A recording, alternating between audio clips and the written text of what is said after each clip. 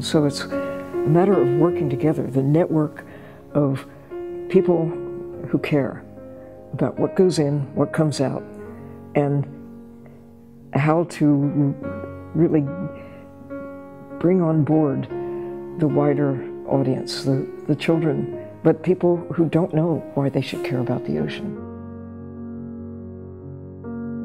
We as the youth are the future leaders of the country.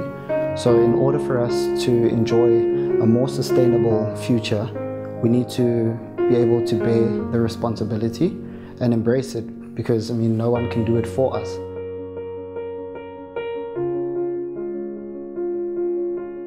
So I think that some of the goals for Africa for really understanding the waste issues is really getting a handle on how much is there, where is it coming from, how does it move through the environment, what are the impacts, and then what are the interventions or roles and opportunities for reducing those inputs to the environment before it actually reaches the ocean.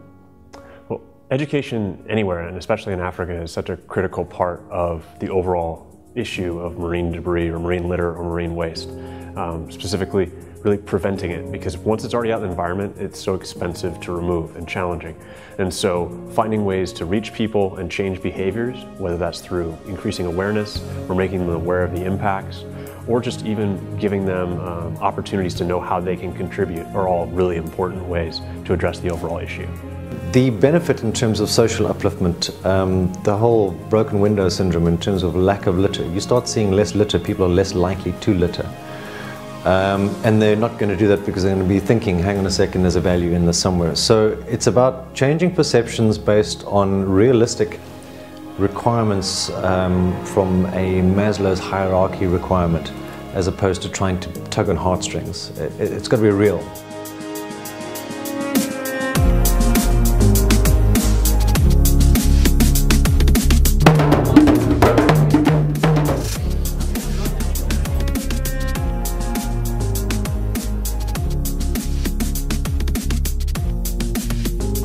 It is not for us, but it's for our grand-grandchild and our generation that they understand now and we started. Uh, progress within, within both the Nairobi and Abidjan conventions are really focusing on waste as, a, as an issue in the marine environment and other forms of pollutants that are, are entering the marine environment, um, which means that the governments are starting to take it seriously.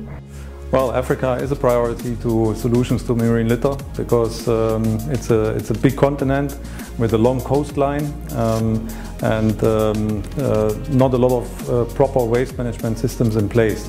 Marine litter is a global challenge, uh, so we need to address it globally and that's also the reason that I was invited to come here because we do cooperate with our colleagues from South Africa.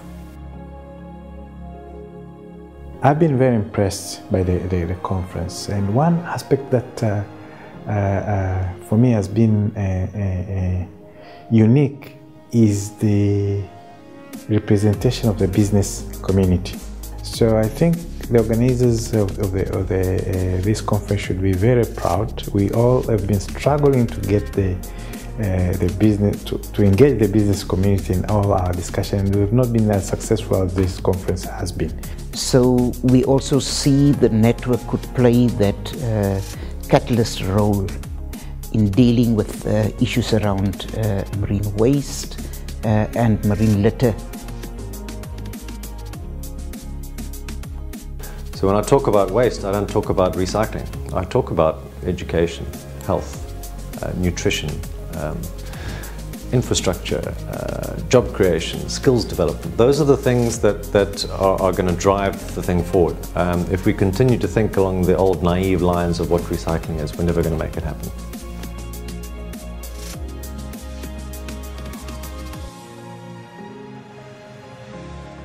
So this has been a really exciting conference. It's a great opportunity and a real nexus bringing together industry players, researchers, educators, tourism businesses, and bringing all those people together to look for how we can work together to collect information, to provide economic benefits, to reduce litter entering the environment. It's really exciting to see such a diverse group of stakeholders brought together, working together. That's really exciting.